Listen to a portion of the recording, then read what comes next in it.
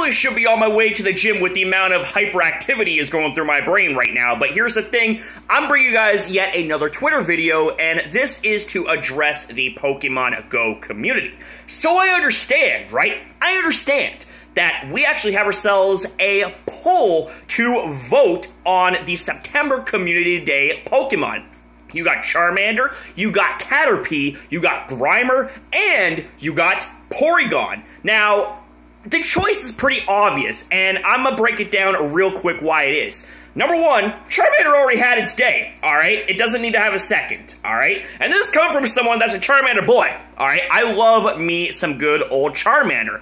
Now, as for Caterpie, it's a very, very cute Pokemon and has a really good shiny. Golden Caterpillars for the win, okay?